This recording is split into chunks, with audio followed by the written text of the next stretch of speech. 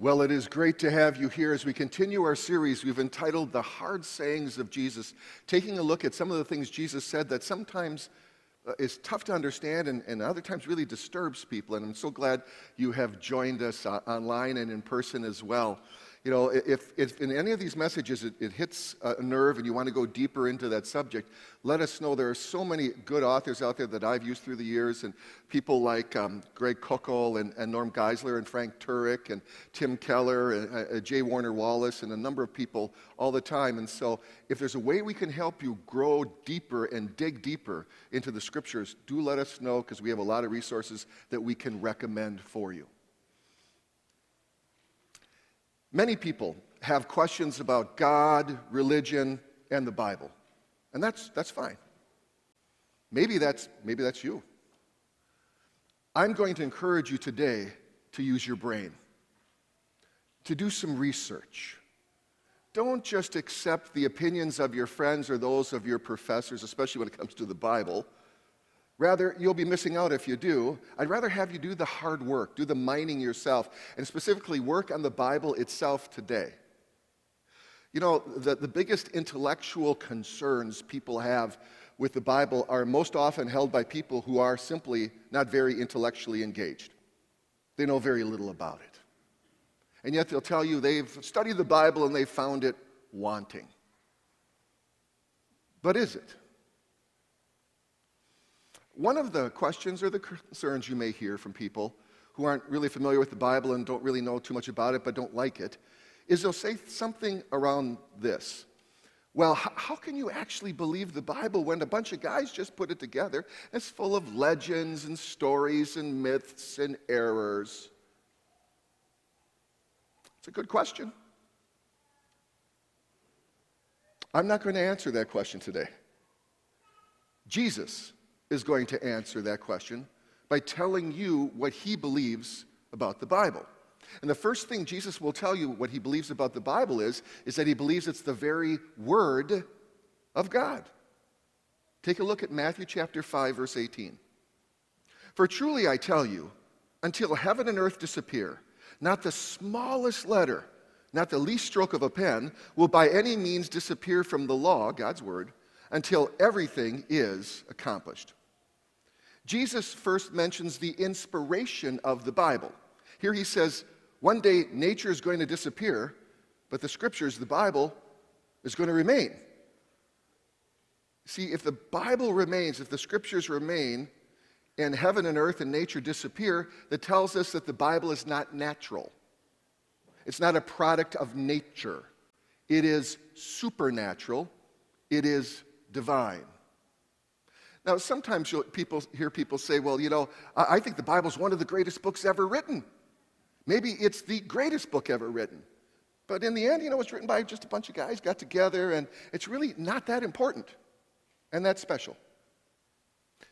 Jesus believed the scriptures had a life that transcends heaven and earth. Jesus believed it was supernatural, divine. And he believed that about all of the scriptures. Theologians call that truth plenary verbal inspiration, which declares that every single word came from the mouth of God. In 2 Timothy chapter 3 verse 16, it says this: All scripture is God-breathed. Greek words theopneustos. Plenary inspiration is the belief that God gave the words. It's the very outbreath, the exhale of God. God didn't breathe into man's words, God didn't breathe into man's thoughts. God breathed out the very words he wanted them to write down, and he used their own individual vocabularies. But at this point, you might have someone look at you during this conversation and say this But, but what about all of the errors in the Bible? Textual scholars have found many, many errors, right? In the Bible, and, but they're very rare in the copies of the Bible. Um, they're about one in every thousand in the New Testament and one in every 1580 in the Old Testament. They're very rare. And what you need to understand is that 99.9% of them are copying mistakes. That computes mathematically to a, a text that is 99% pure. And even if you left in all of the spelling mistakes and copy mistakes and word inversions and the so called difficult texts, not one of them, not one of them would change any major teaching or core doctrine in your Bible. And you need to understand that because you're probably being told something different on social media or in school. Jesus even goes further than that. He continues, he says this Not the smallest letter, not the least stroke of a pen will disappear until everything's accomplished. What Jesus is referring to there is the smallest letter in Hebrew. The smallest letter in the Hebrew alphabet is a yod. It's about the size of a comma. And if it's missing from a Hebrew word, it can change the meaning of that word. Then Jesus says, not the least stroke of a pen. What he's referring to there is the strokes of a pen you make to go ahead and make the alphabet in English or in Greek or in Hebrew, those letters themselves. And uh, if, if you miss some of those, if you're a little off on some of those, it can actually change the word. Imagine, here's the English equivalent, for example. Let's say I'm drawing a G. You got that little hook at the bottom? I'm drawing a G. Well, let's say you uh, accidentally draw a Q. The hook goes the other way. That can actually change a word in English, can it? Yes, it can, okay? Go like this. Yes, it can. All right? Let me give you an example. Let me give you an example. The word rogue, take a look. Rogue is a scoundrel, spelled with a G. But if you spell it with a Q, it becomes an American variation of croquet. Right? A, a, a game we play in a hard service, though. That happens also in Greek and in Hebrew, and that's what Jesus is speaking about here. Many people today will say, I, I, believe the basic truths of the Bible, but there are parts of it that I don't really believe anymore because, after all, it's the 21st century. Things change. Well, things have to change.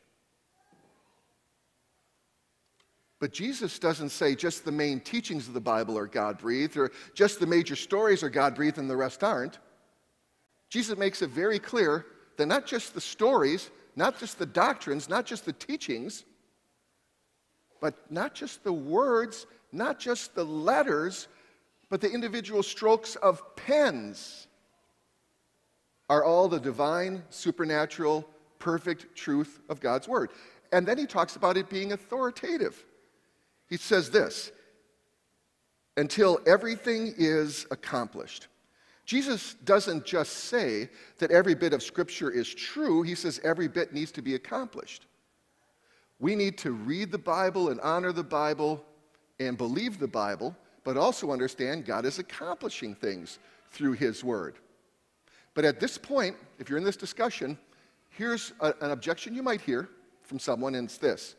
But, John, in this section right now, Jesus is talking about the Old Testament only because the New Testament hasn't been written yet. Right? That's correct. Jesus will later in this ministry uh, promise the disciples that he'll send them the Holy Spirit, as we heard in the readings, so that they can have that same divine inspiration producing for us what we call the New Testament.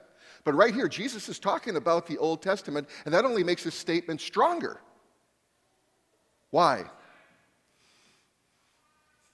The vast majority of people who have a problem with your Bible today like to point to some episode or story in the Old Testament. In Jesus' ministry on this earth, he routinely quoted from every portion of the Old Testament and seemingly went out of his way to point out the veracity of those stories and events that others today think you're an idiot for actually believing. Let me just give you a few of them. You'll see them before you. Jesus believed in a real Adam and Eve, a real creation week, uh, the fact that marriage by design is a man and a woman he believed in a worldwide flood. He believed in the destruction of Sodom and Gomorrah. He believed in a burning bush. He believed about manna from heaven and a, a brazen serpent. He had all of those things. All of those things he believed and more. Jesus believed that not just the major doctrines, not just the teachings, not just the thoughts, not just the flow, but everything in the scriptures, the words, the letters, the strokes of the letter, are God's word itself from the very mouth of God. Another challenge, though, you may hear at this point is people will say, okay, John, I'll give you that. The Bible was written by God. But we know from history that it was human beings who actually decided what books were in and what books were out. How do we know they got it right? Jesus here is talking about the Old Testament scriptures at a time when the Old Testament has already gone through the canonical process. Hundreds of years before Jesus was on this earth, the believers in the Old Testament had gotten together and decided which books are going to be in the Old Testament and which books were spurious, which were not God's Word. That had already been decided. And Jesus certainly agreed with that because he calls them scriptures here. And so, what we're sometimes missing that we don't see in this account is Jesus is telling us that not only does he believe that God can bring his perfect, supernatural, authoritative word and record it through human authors, but Jesus believes also that God can use those human authors to bring about the recognition of what books are God's word and what books are not.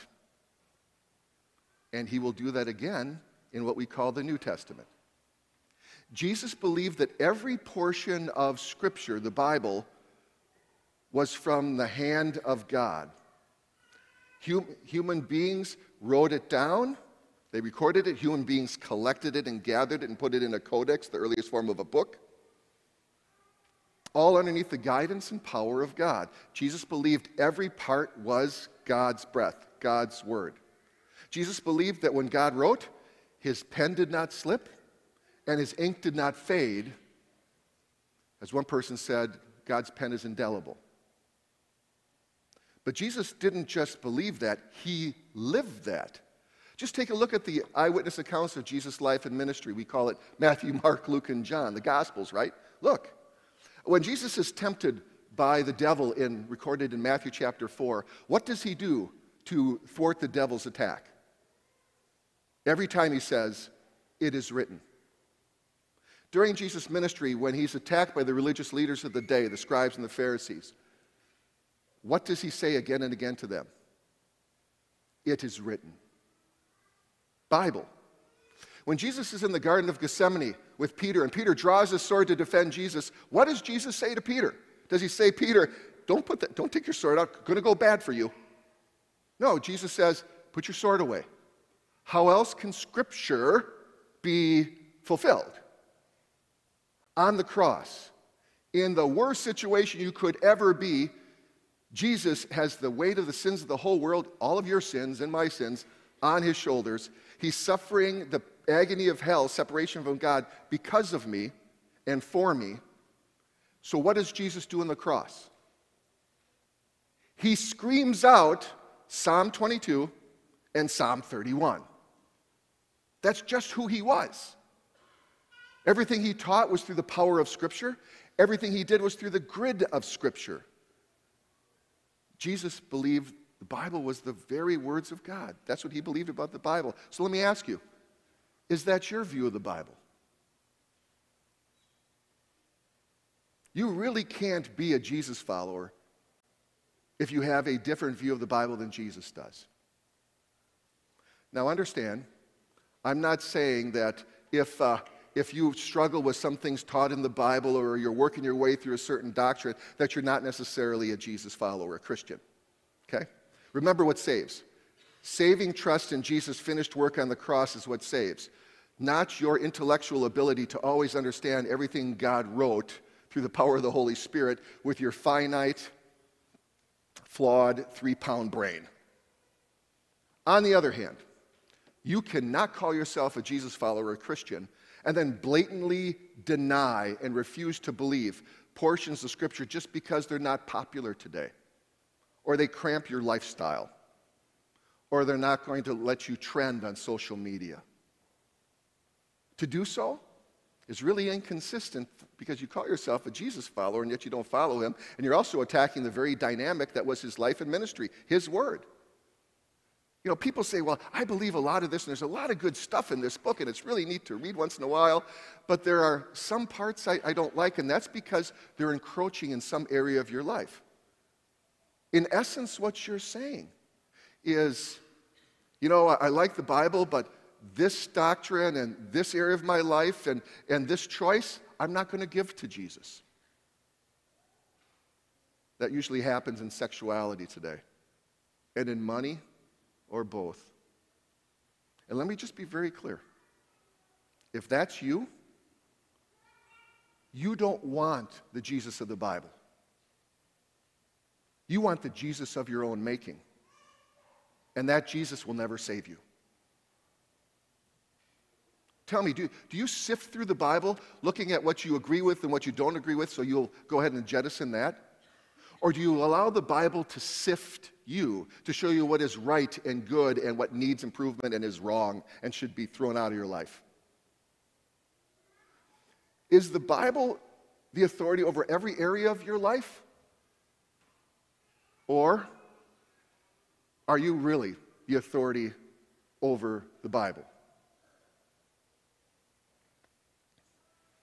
Jesus doesn't want you only to know that he believes the Bible is the very words of God. He also wants you to know that the Bible is all about him, and it's not about you. He says that in verse 17. He says, Do not think that I have come to abolish the law and the prophets, the Old Testament. I have not come to abolish them, but to fulfill them. Jesus is telling the Pharisees of his day and the Pharisees of our day that the Old Testament is all about him. The word fulfilled here or accomplished means to fill up a cup, to fill it up. Now, as New Testament Christians, we know that the Old Testament is like a big arrow pointing to the Savior to come. And when Jesus came, he fulfilled the Old Testament for us. And that's why certain parts of it no longer are applicable to New Testament Christians, like the food laws and when you worship and how you worship and clothing laws and, and you know, the civil and ceremonial laws. Jesus has perfectly fulfilled all of those things. That's that's important to know. When Jesus arrives on the scene, the moment he's here, you cannot, you cannot look at the Old Testament the same way. And also, you can't just jettison the Old Testament because now you got the New Testament. The Old Testament's still important for you as a Christian, a Jesus follower. Let me, let me illustrate that with the illustration I learned from a couple other people I'm going to use a water bottle today. I could use a cup or a glass, but I'm going to use a water bottle because so many of you bring them in the service. And of course, you, you can see this is probably my water bottle with all the floral pattern on it. It fits me so nicely. Um, actually, I got it out of the lost and found. Um, so claim it after the service. Well, after the next service, okay? Um, picture this water bottle and the water in it. The water in it is Jesus and his message of salvation. He's the Savior, the Messiah. The water bottle is the Old Testament. If the water, you need the water bottle to bring water to you to quench your thirst, right? That's how that works. A water bottle that doesn't hold water is worthless. But you can't drink the water without the water bottle. What Jesus is telling us here is that as New Testament Christians, we need to understand the Old Testament if we're really going to understand what He's come to do for us and has done for us. We need to understand the prophets and the priests and the kings and the wars and the captivities and the conquests and, and, the sacrificial system and the Exodus if we're really going to understand everything that Jesus has done for us. It's all about Him. That's what Jesus said to his disciples right after the resurrection onto the road to Emmaus when he said this. He said to them, How foolish you are, and how slow to believe all that the prophets have spoken. Did not the Messiah have to suffer these things and then enter his glory? And beginning with Moses and all the prophets, he explained to them what was said in all the scriptures concerning himself. Scripture is all about Jesus. And then Jesus says this if you read the Bible the way he reads it, it will change your life. Verse 19. Therefore, anyone who sets aside one of the least of these commands and teaches others accordingly will be called least in the kingdom of heaven. But whoever practices and teaches these commands will be called great in the kingdom of heaven. For I tell you that unless your righteousness surpasses that of the Pharisees and the teachers of the law, you will certainly not enter the kingdom of heaven. Jesus is teaching you when you read the Bible like he reads it, you internalize the gospel and Jesus becomes the foundation and the motivation in your life. Then your life far surpasses the religiosity of the Pharisees who always looked at Scripture as a way to help them earn salvation, to help them get good in God's sight. And once again, as we will in this series again and again, we come to the difference between religious people, who often sometimes sit in churches, and Jesus followers. See, religious people think the Bible's all about them. They think it's a how to book. That's how they usually use it. They think, well, how can I be right with God? What do I need to do to earn more merit with God and earn favor with God? Or um, it's a self help book, right? Uh, how can I have a better this and better that? Or they see it, the, the Bible as um, a way to get rich. That's the prosperity gospel today that's floating around. It's horrible. They think it's all about them. Christianity and Christians understand the Bible's all about Jesus. It's not a how to book, it's a who done it book. See, uh, religious people today, inside the church and outside the church, often um, they, they believe Christianity comes from the outside in. And oftentimes they believe that because they're void inside, they have no self esteem, they're afraid of death. They're not really sure what the truth is, but they don't want anybody to cramp their lifestyle, so they're very insecure. And so they're looking for things on the outside to fill the void in the inside. Real Christianity is from the inside out. Jesus would tell you that the driving force in your life as a Jesus follower in the 21st century needs to be the message of his rescue and full forgiveness he's won for you on the cross that was prophesied in the Old Testament, fulfilled in his life, death, and resurrection. And that needs to be the motivating factor and the guide in your life. Jesus understood real Christianity is from the inside out. So if you have a friend who asks you, you know, why you believe the Bible is full of errors and, you know, something like that, simply look at your friend and say, well, I believe Jesus rose from the dead. And uh, here's what he believed about the Bible. He believed not just the words, not just the letters, but the very parts of the letters are from God's Word and are God's Word, the, the supernatural truth. He believed it was all about him, not about you. And he said, if you read it the way he reads it, it'll change your life now and forever. And that's what Jesus believed about the Bible.